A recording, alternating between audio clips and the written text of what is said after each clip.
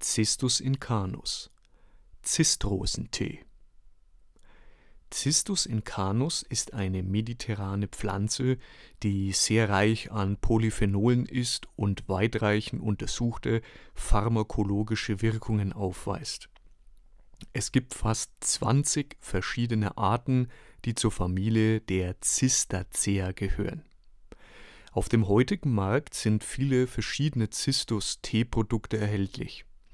Dieser Artikel befasst sich mit Cistus incanus, biologisch angebaut und verarbeitet in Sardinien, erhältlich über Revital-Konzept. In diesem Artikel erfahren Sie mehr über dieses einfache, kostengünstige Heilmittel, wie es Klinghardt bezeichnet. Cistus incanus ist möglicherweise das nützlichste Mittel, von dem Sie bisher noch nie gehört haben. Viel Spaß beim Zuhören. Cistus incanus. Einfaches, preiswertes Heilmittel? Um es gleich deutlich zu machen, dieser Artikel ist nicht als medizinischer Rat, nicht als Heilaussage, nicht als Heilversprechen und so weiter gedacht, sondern dient lediglich zu Informationszwecken erfasst einige der aus meiner Sicht bedeutendsten Forschungsergebnisse über Cistus incanus zusammen und soll als Informationsquelle Schrägstrich Inspirationsquelle dienen und meine eigene Bewertung und Erfahrungen mit den vorgestellten Cistus incanus Produkten teilen. Die meisten haben wahrscheinlich noch nichts von Cistus incanus gehört und sind damit nicht allein. Ich wusste auch nichts über diese Pflanze, bis ich im Jahr 2019 über die Arbeit von Dr. Med Dietrich Klinghardt, arbeitet und lebt in den USA sowie in Deutschland, gestolpert bin. Klinghardt ist spezialisiert auf die Behandlung von neurologischen Erkrankungen wie zum Beispiel Morbus Parkinson, Multiple Sklerose, Leimborreliose, Kinderkrankheiten wie zum Beispiel Autismus, Lernstörungen, Hyperaktivität und so weiter. Laut Klinghardt ist der kleinste gemeinsame Nenner aller dieser Krankheiten die Umweltverschmutzung. Für die Leser, die mich nicht kennen, beziehungsweise an dieser Stelle die Zuhörer, ich arbeite nicht nur als Personal Trainer, sondern eben auch als Heilpraktiker. Um es kurz zu machen, durch mein Wirken in meiner Naturheilpraxis bin ich auf die Arbeit von Dr. Klinghardt, Cistus incanus und Igor Campana von Revital Konzept gestoßen. Als ich von Dr. Klinghardts Arbeit erfuhr mit Cistus incanus, wurde ich neugierig und führte meine eigene Recherche über diese Pflanze durch. Was ich fand, war für mich wirklich verblüffend. In einem spannenden Interview spreche ich übrigens mit Igor Campana von Revital Konzept über die Cistus incanus Pflanze. Wir tauchen ein in die spannende Welt dieses botanischen Wunderwerks, lassen Sie sich mitreißen von Igors Fachwissen über Cistus incanus, daraus gebraute Tees, Extrakten und noch ganz viel mehr.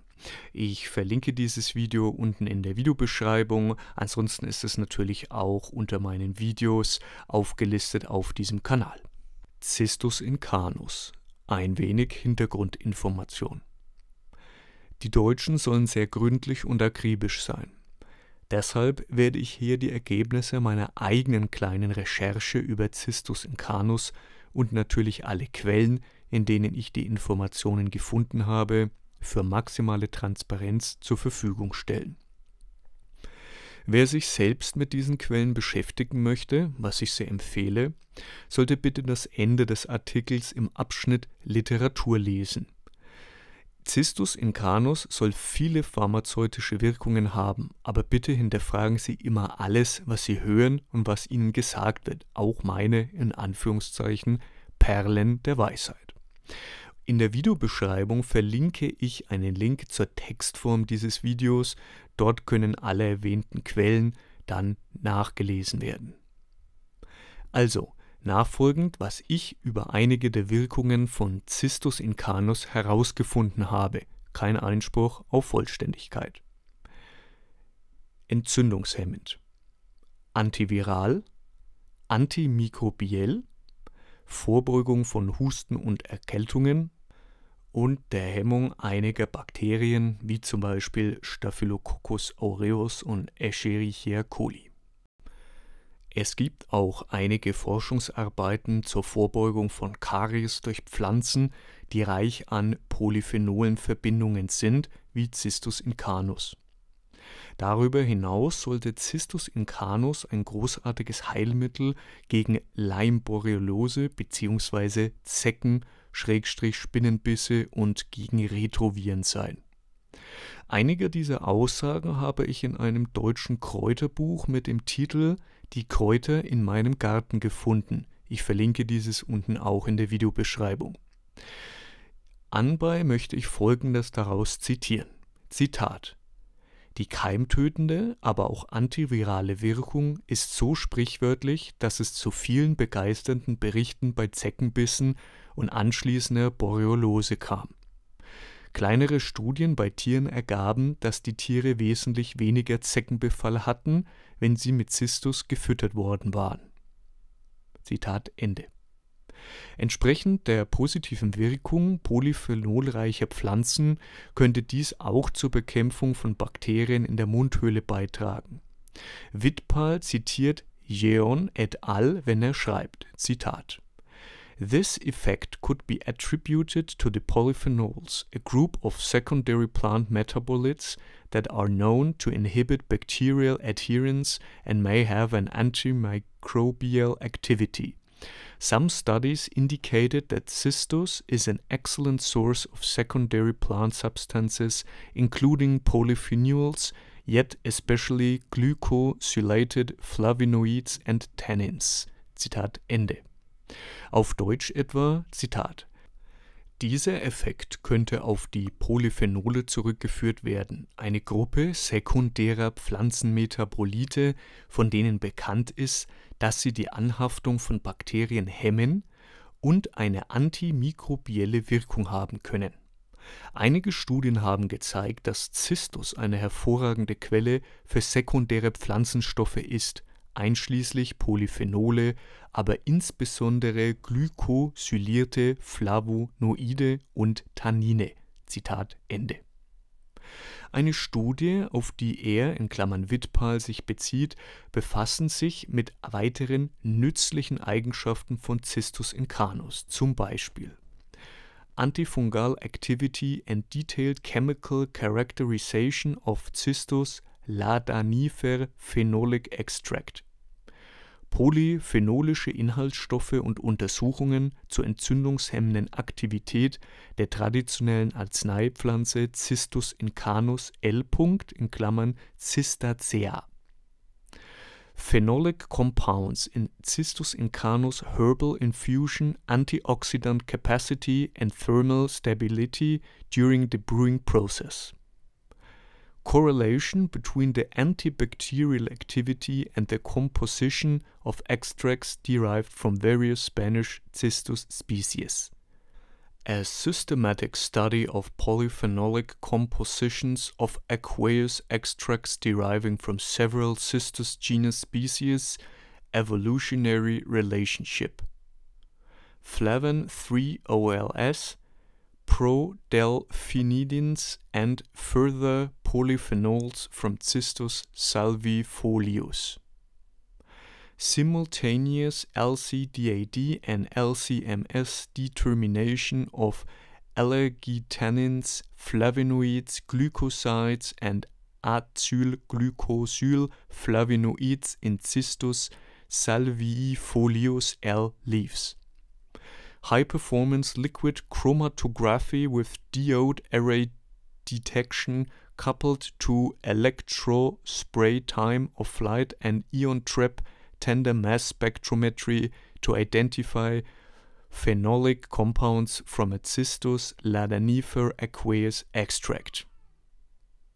Wie man sehen kann, ist das Forschungsgebiet über Cistus incanus nichts Neues. Im Gegenteil, die positiven Wirkungen von Cistus incanus sind dem Menschen seit Jahrhunderten bekannt. Aber in unserer modernen Welt, in der wir uns darauf konditioniert haben lassen, medizinischen sogenannten in Anführungszeichen Autoritäten zu folgen, ohne deren Rat zu hinterfragen, scheint immer weniger Raum für vor allem kostengünstige Naturheilmittel zu sein. Verstehen Sie mich nicht falsch, ich habe nichts gegen Schulmedizin. Ich denke aber auch, dass die Verantwortung für unsere eigene Gesundheit bei uns allen selbst liegt und nicht in die Hände einiger in Anführungszeichen Götter in Weiß gegeben werden sollte. Und vielleicht kann manchmal ein, wie Klinghardt es bezeichnet, in Anführungszeichen einfaches, kostengünstiges Heilmittel wie ein natürliches Kraut besser funktionieren als eine teure chemische Behandlung. Aber das ist nur meine Meinung, doch die Forschung scheint dies zu unterstützen. Ich war zu Gast bei Coach Rush und in dieser Episode seines Podcasts sprechen wir unter anderem über Cistus incanus Tee. Ich verlinke diese Episode unten in der Videobeschreibung. Viel Spaß auch dort beim Zuhören. Warum Revital Konzept? Warum wähle ich Cistus incanus von Revital Konzept? Weil ich immer nur die besten und natürlichsten Mittel konsumieren möchte, egal woher sie kommen. Ich werde für diesen Artikel übrigens nicht bezahlt. Ich möchte nur meine Erfahrungen mit Cistus incanus und der Marke, die ich benutze, teilen. Nichtsdestoweniger äh, kennzeichne ich das Video der Sicherheit halber trotzdem mal als Werbevideo. Ich habe die folgenden Cistus-Produkte genutzt. Cistus Teebeutel respektive sogenannte Teepyramiden, Cistus incanus Infusion, also loser Tee, Cerovir Pro Biospray Cistus Pro Bio Tropfen. Ich benutze sowohl den Cistus Tee als Aufguss als auch die Cistus Teebeutel. Die Teebeutel sind dann eben bequemer, wenn ich zum Beispiel auf Reisen bin oder wenn ich im Fitnessstudio oder in der Praxis bin. Ähm, andere sieht man unterschiedliche Cistus incanus Arten. Und an dieser Stelle vielen herzlichen Dank äh, an dich, lieber Igor. Igor Campana von äh, Revital Konzept, der sich die Mühe gemacht hat, mir die Unterschiede der einzelnen Arten im Detail zu erklären und mir diese Test-Teepackungen und weitere Produkte zum Testen einfach mal bereitgestellt hat.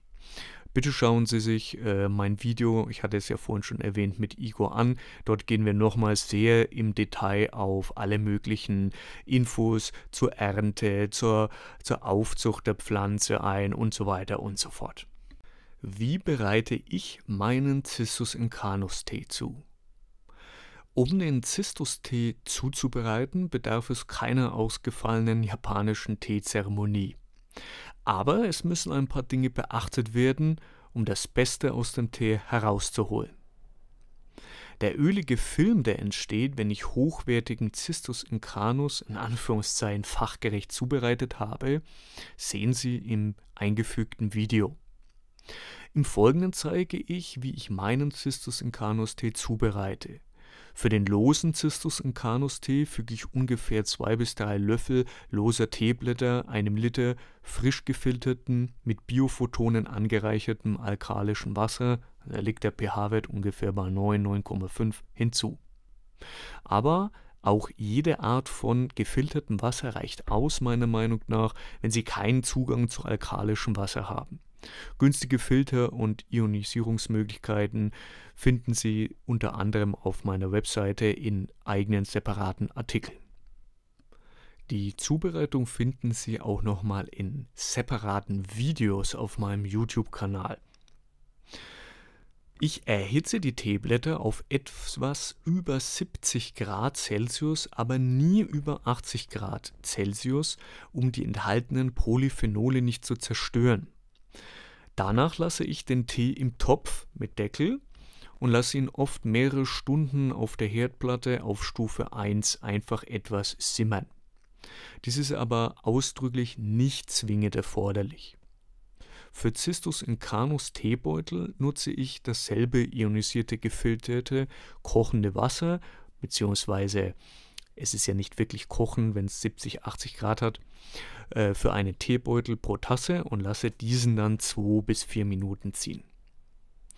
Wenn ich dem Tee etwas hinzufüge oder nur umrühre, dann nutze ich einen Keramiklöffel, äh, da Kräuter niemals mit Plastik und oder Metall äh, in Berührung kommen sollten.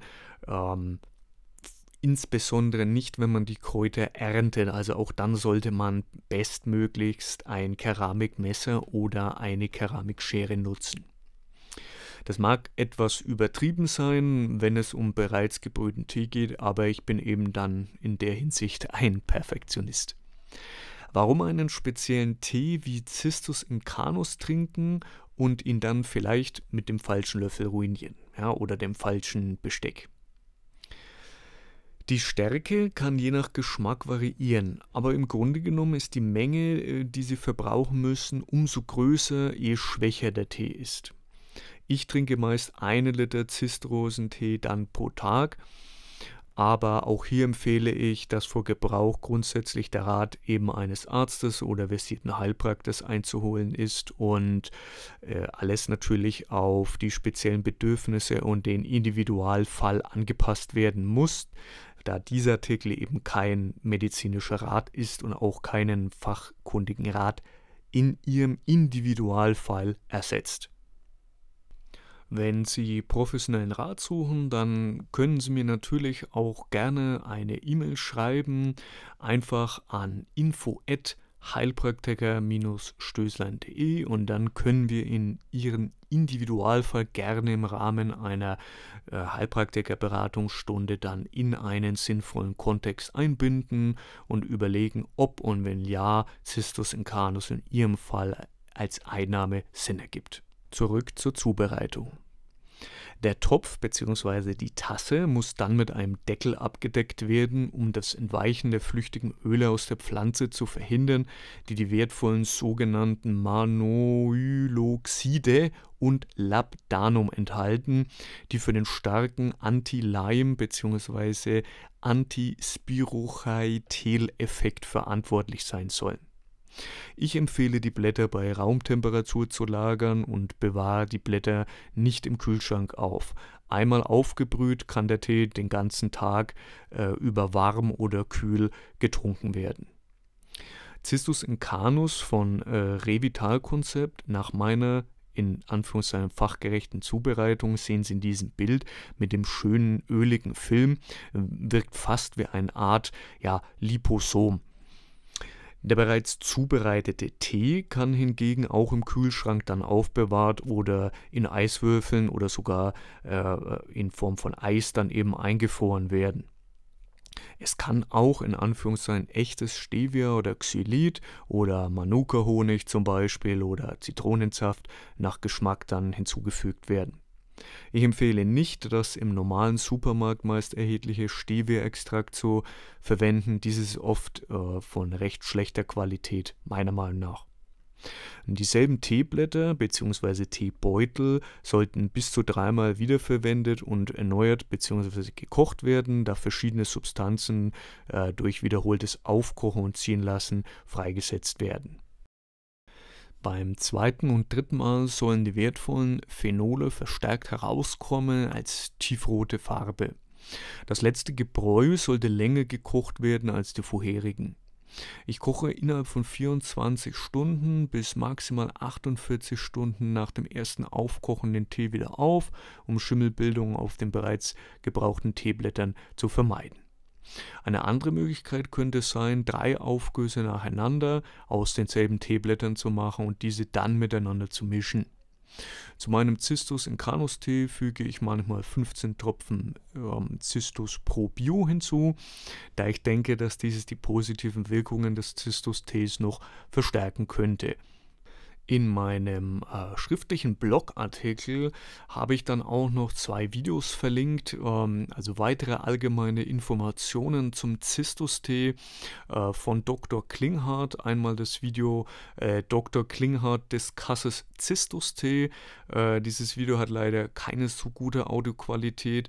Ähm, dort wird aber der Anbau des Cistus incanus-Tees in Sardinien gezeigt und des Weiteren gibt es noch mehr Hintergrundinfos zur Ernte und Verarbeitung. Also das zweite Video trägt dann den Titel Cistus Tea Grown in Sardinia.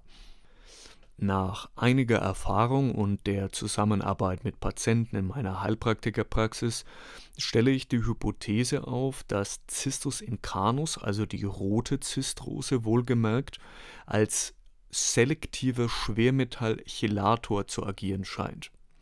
Der Begriff Chelat stammt von altgriechisch Chele, was Krebsschere, Zange oder Klammer bedeutet. Und Chelate sind also Stoffkomplexe, die andere Substanzen, wie eben zum Beispiel Metalle, in Anführungszeichen dann wie eine Krebsschere eben umfassen bzw. binden können, sodass sie der Körper ausscheiden kann. Hierbei handelt es sich ausdrücklich nicht um einen ja, sogenannten Health Claim, sondern nur um meine eigenen Beobachtungen, äh, die keinen Anspruch natürlich auf Vollständigkeit oder Allgemeingültigkeit besitzen. Deswegen bleibt es zunächst nur eine Hypothese. Folgendes konnte ich an mir und an denjenigen Patienten meiner Heilpraktikerpraxis beobachten, die täglich etwa einen Liter rote Zistrose als Tee konsumiert haben. Cistus incanus scheint als selektiver Chelator für einige Schwermetalle bzw. Übergangsmetalle zu fungieren, als da wären Blei, also Plombium, Cadmium, abgekürzt mit CD, äh, aber auch Zink, Zinn und Kupfer, also Cu. Gemessen habe ich dies mittels sogenanntem äh, SOCEC bzw. Oligoscan. Infolge des täglichen Konsums von sehr konzentrierten Cistus incanus kam es bei mir, laut der Messung, zu einer Reduktion dieser Schwermetalle, aber eben auch zu einem deutlichen Anstieg an Zink und Kupfer. Ähm, paradoxerweise stellt dieser Zinküberschuss aber aus meiner Sicht eine Zinkverteilungsstörung dar, weil es dem Körper an Zink mangelt. Deshalb versucht er diesen Mangel zu kompensieren, indem er körpereigene Zinkreserven äh, zu mobilisieren versucht. Geäußert hat sich das bei mir durch äh, weiße Flecken in den Fingernägeln und topischen, also halt punktuellen orangenen Flecken auf den Handinnenflächen, äh, was auch auf einen Kupfermangel zurückzuführen sein könnte. Nach äh, Supplementierung durch in Anführungszeichen ausreichend Zink, denn für jeden ist ja was anderes ausreichend, sind diese Erscheinungen mit der Zeit dann aber sukzessiv abgeklungen. Ausreichen habe ich deshalb eben äh, jetzt in Anführungszeichen gesprochen, äh, weil wie gesagt, für den einen sind 30 Milligramm ausreichend, jemand anders braucht vielleicht 90 Milligramm für kurze Zeit. Und die Zufuhr erfolgt in Kapselform äh, nach der Hälfte der Mahlzeit. Werfen wir einen Blick auf das Periodensystem, und äh, wenn wir hier aufs Periodensystem schauen, äh, dann ergibt es durchaus Sinn, was ich in den Zeilen zuvor geschrieben bzw. hier eingesprochen habe. Denn wenn meine Hypothese stimmt und Cistus incanus, also die rote Zistrose, ein selektiver Schwermetallentgifter ist, zumindest für Blei und Cadmium, dann würde es durchaus Sinn ergeben, dass es ebenfalls Zink aus dem Körper mit ausleitet. Denn Zink und Cadmium sind Stoffnachbarn und liegen im Periodensystem direkt übereinander. Beide gehören zur sogenannten Gruppe der Übergangsmetalle. Zink und Kupfer sind ebenfalls Stoffnachbarn, die direkt nebeneinander liegen. Ähm, Blei hingegen findet sich in der Gruppe der Metalle wieder, zu denen zum Beispiel auch Aluminium, also ein Leichtmetall, zählt.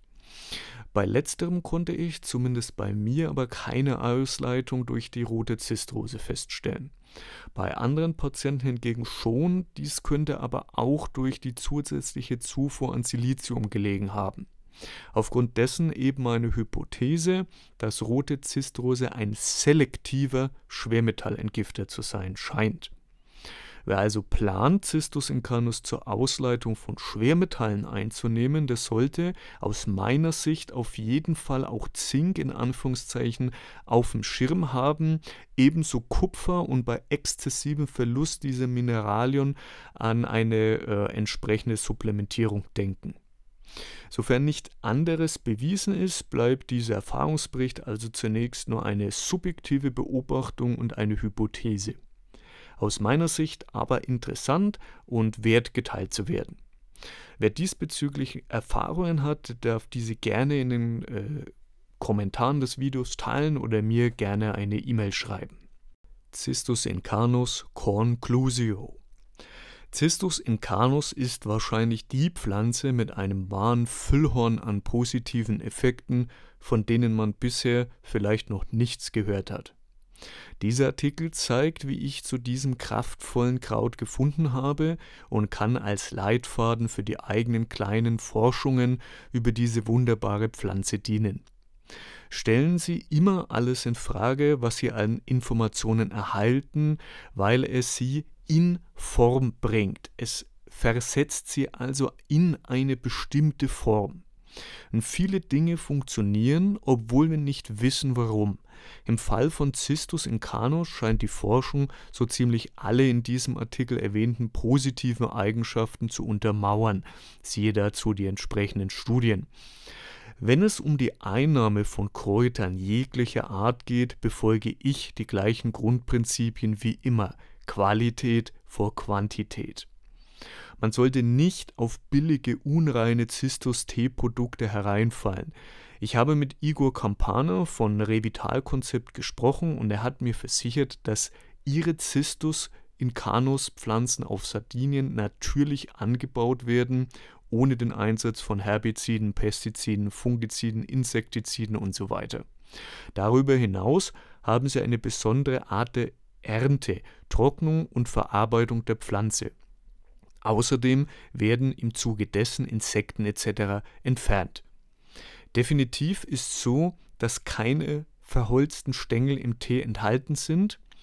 Es werden nur die äh, Triebe der Knospen geerntet, also nur der apikale Bereich der Pflanze mit möglichst vielen Knospen, so Igor Campana.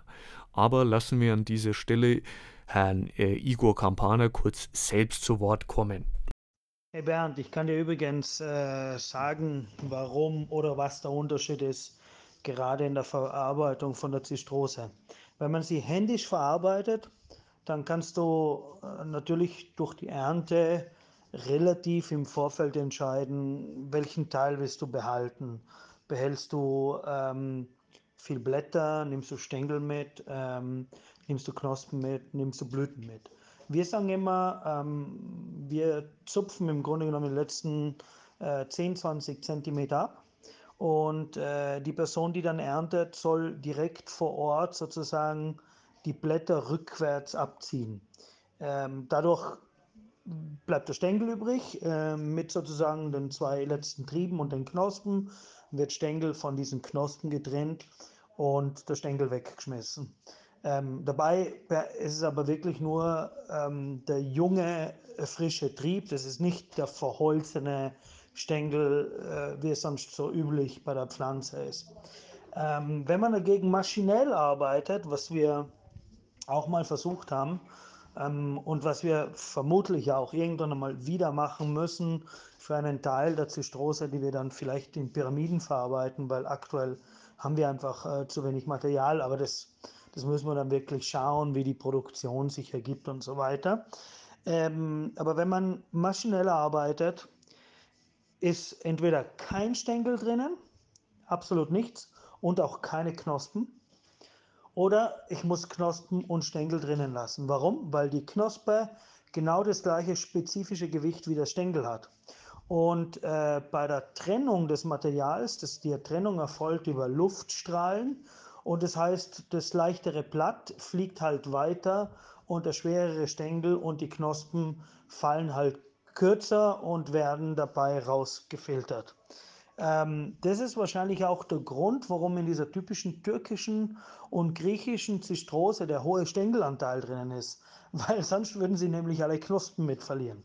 Und dann entscheiden sie lieber, das Zeug gleich zu schroten, äh, weil man es beim Schroten dann auch nicht mehr sieht ähm, was ist jetzt wirklich, das siehst du ja nicht, war das ein Blatt, war das ein Stängel, wenn es auch noch schön gequetscht ist, der Stängel, dann kommt er dir vor wie ein etwas dickeres, getrocknetes Blatt. Ähm, und deshalb weiß man nicht mehr, was wirklich drinnen ist. Die Qualität kann man im Grunde genommen nur beurteilen, wenn man wirklich die ganzen Blätter, Knospen, und Blüten sieht. Äh, und wenn hier und da dann sogar mal eine violette oder gelbe Blüte drinnen ist, das Gelb ist sozusagen vom Zentrum der Blüte, violett ist, wenn sie gerade ähm, am Sprießen war, die Blüte, und dann wurde sie geerntet und getrocknet, dann bleibt in seltensten Fällen ähm, die Farbe übrig. Äh, dann weiß er, dass du richtig guten Tee hast. Solange es geschrotet ist, sage ich immer, kannst du die Ursprungsqualität kaum noch beurteilen. Ich hoffe, das hat jetzt ein bisschen geholfen. Äh, zu guter Letzt möchte ich noch auf die Hauptgründe eingehen, warum ich angefangen habe, Cistus Incanus zu trinken. Und der Hauptgrund war eigentlich, dass ich sehr gerne Mountainbike bzw. Downhill fahre und wenn das Wetter stimmt, vor allem im Sommer eben dann, äh, ja, dann nutze ich das als eine Form des Cardio-Trainings. Und in der Gegend, in der ich wohne, gibt es Unmengen von Zecken und ich möchte nicht Opfer ja, dieser fiesen Blutsauger sein. Und ich wurde als Kind von Zecken gebissen und äh, wer weiß schon, ob chronische Borreliose nicht immer noch ein Problem ist. Und um eventuell noch anhaltende Borrelien loszuwerden und neue Zecken etc. zu vermeiden, hatte ich eben angefangen, diesen sehr schmackhaften Tee zu trinken. Ja, an dieser Stelle möchte ich mich wieder ganz herzlich fürs Zuhören bedanken. Sie wissen alle, wie es funktioniert. Teilen Sie gerne den Artikel bzw. das Video. Klicken Sie auf Gefällt mir, abonnieren Sie den Kanal, klicken Sie auf die Glocke, dann werden Sie immer informiert, wenn ein neues Video online kommt. Und das hilft natürlich ganz herzlich. Für Sie ist es ein kleiner Klick. Für mich ist es etwas ganz Großes, weil es natürlich der Verbreitung und für den Algorithmus des Kanals auf YouTube extrem hilft. Ja, und abschließend wie immer wünsche ich allen eine energiereiche Zeit. Bleiben Sie gesund und bis bald.